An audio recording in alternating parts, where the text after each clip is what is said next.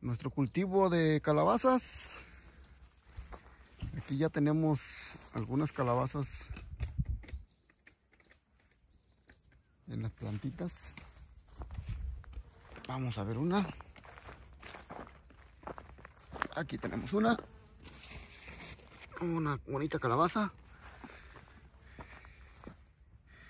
Aquí tenemos las flores. Esta es la flor de calabaza. La calabaza da dos tipos de flores. Esta es una flor macho, así se le llama.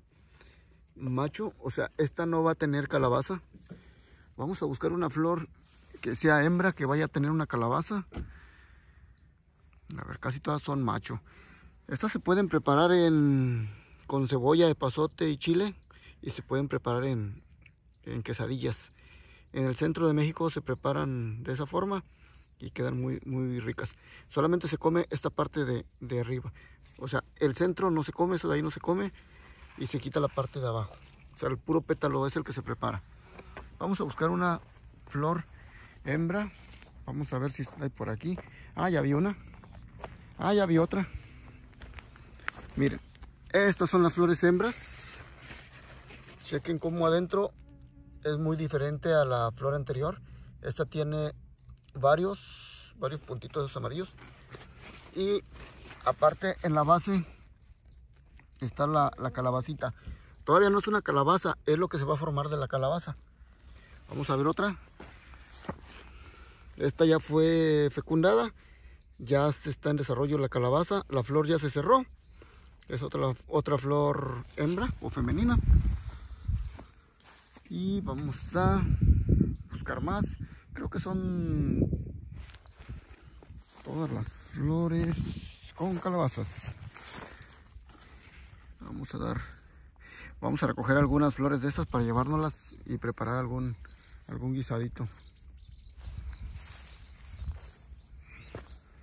vamos a buscar más calabazas